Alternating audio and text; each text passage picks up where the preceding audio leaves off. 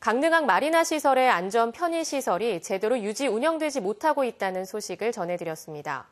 이렇게 된 데에는 관련법이 미비해 관계 기관이 서로 책임을 떠넘기며 관리를, 소홀히 한 이유가 있었습니다. 김형우 기자가 보도합니다. 도내에는 강릉과 속초, 양양 등 4곳에 요트 마리나 시설이 갖춰져 있습니다. 양양 수산항을 제외하고 3곳은 민간 사업자가 운영 중입니다.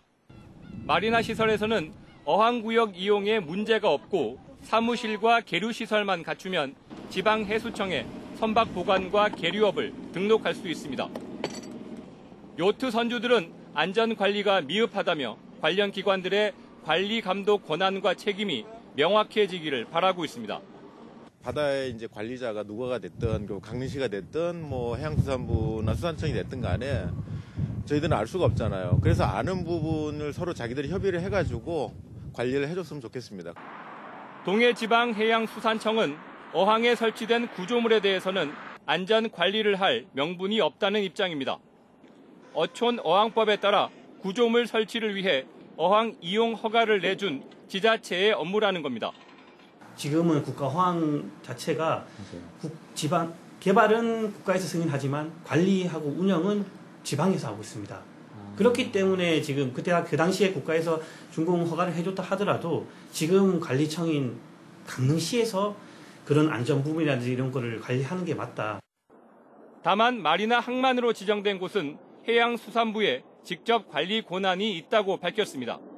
1차 마리나 항만 기본 계획에 따라 현재 전국에는 7개소만 마리나 항만 구역으로 지정돼 있고 58개소는 예정 구역입니다.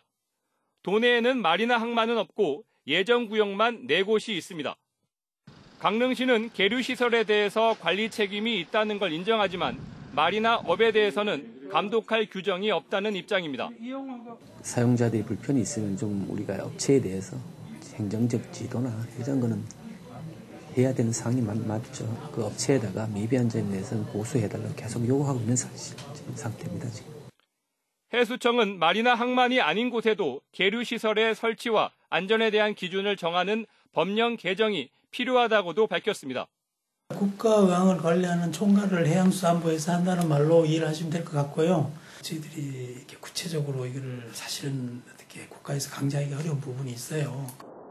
관련 기관들이 책임을 떠넘기는 사이 강릉항 마리나 시설은 10년 동안 관리 사각지대에 놓여 있었던 셈입니다. 앞으로 10년 동안 적용될 2차 마리나 항만 기본 계획이 올해 말 고시되는데 마리나 시설의 문제점을 보완할 수 있는 개선책 마련이 필요합니다. MBC 뉴스 김용우입니다.